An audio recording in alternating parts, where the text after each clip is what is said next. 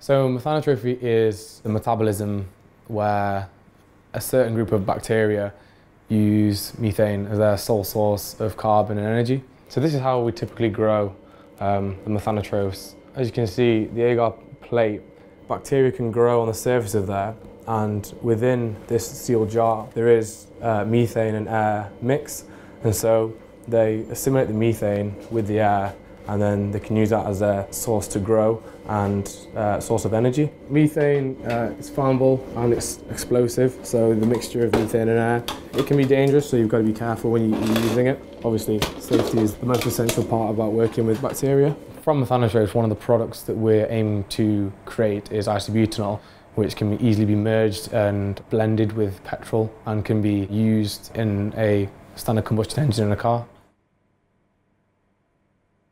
So these are all methanotrophs. Methanotrophs generally describes the term as a methane eater. There are many sources of methane that uh, can be controlled due to you know, human influence as a waste gas, as a greenhouse gas. To make a technology that can consume and convert into something less damaging and more useful has both benefits to the environment it also has economic benefits. So starting off with isolate 1, this belongs to the Methylocystis genus. Genus is kind of like a, a grouping bacteria and they all share similar characteristics. This was isolated from Wollaton Park Lake, not too far from here. So this was from lake sediment. This is isolate 3 and yeah, this was isolated from University Lake.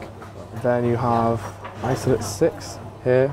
This was also isolated from the University Lake isolate 10. So uh, instead of these three were from the, all from the Methylocystis genus. This is from uh, the Methylocaldum genus. This was isolated from cow manure. Lots of fun sampling. Again, we've got isolate 12 here. This also belongs to the same genus as these three. And this was actually isolated from Moseley Bog.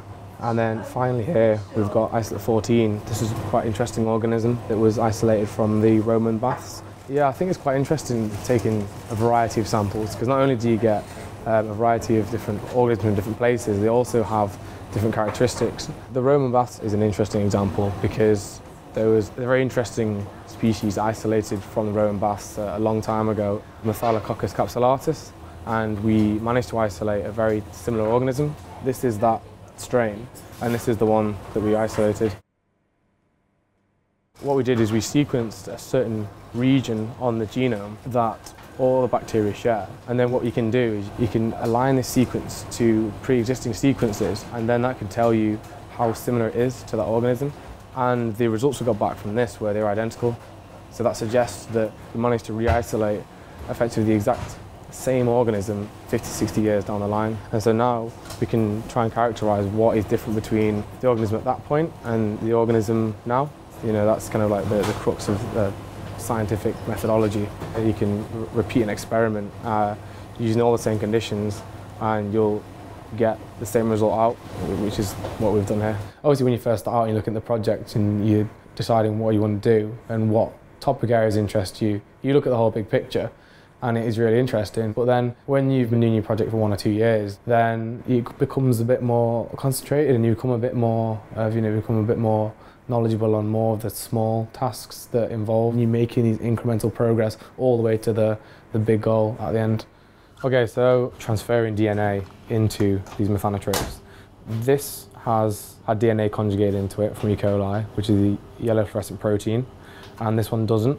One difference you can see is that there's better growth on the one without yellow fluorescent protein. This is because basically it's making something that doesn't normally make, so there's a bit more of a burden in having to make this protein, so it grows a bit slower. But to actually visualize this fluorescence, you need to expose the fluorescent protein to a certain wavelength of light. So this emits blue light.